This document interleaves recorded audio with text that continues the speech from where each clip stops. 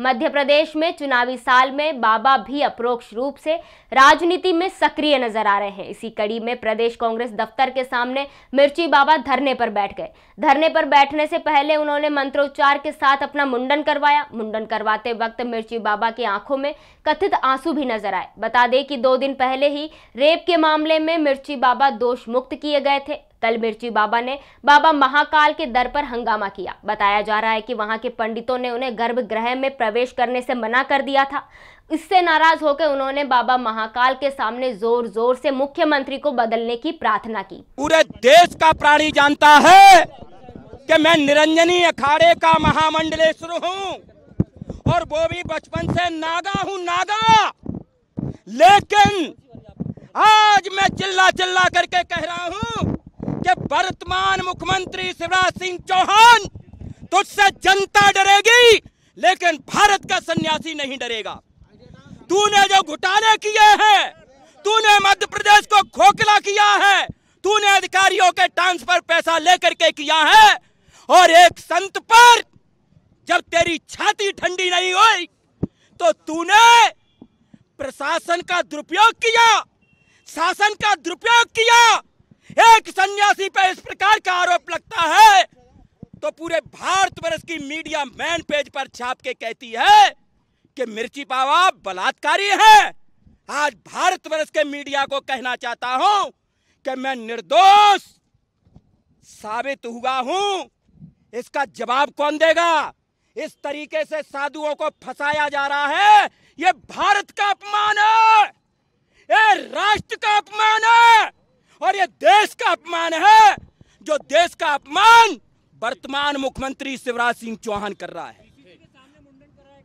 पीछे किसे के सामने मुंडन नहीं कराया, पीसीसी के सामने इसलिए कराया है, ये मेरा घर है, ये मेरा द्वार है, जिस कमलनाथ ने संतों को पट्टे दिए, जिस कमलनाथ ने गौ माता के लिए एक हज़ार गौशालाएँ बनाई, जिस कमलनाथ ने हमेशा संतों से देश भावना नहीं की।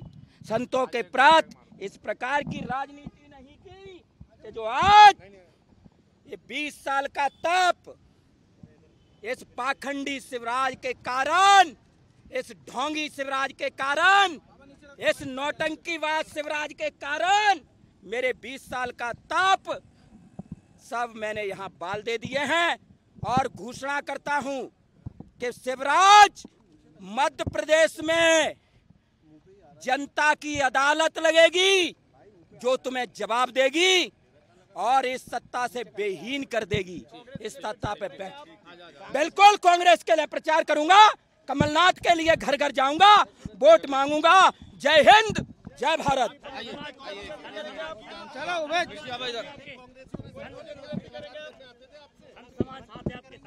अरे कितनी बड़ी बात कही। अच्छी बात कहते हैं आप। ये बात आज शिवराज से पूछिए कि मध्य प्रदेश में छिहत्तर के मामले में कितने लोग बेगुना फंसे हैं। पूछिए। लेकिन मीडिया में ताकत नहीं है, इसलिए नहीं है विजय वर्गी मंच से कहेगा रे कुत्ते हो, शांत हो जाओ। बाबा से पूछने की तो तुम्हारी हिम्मत है।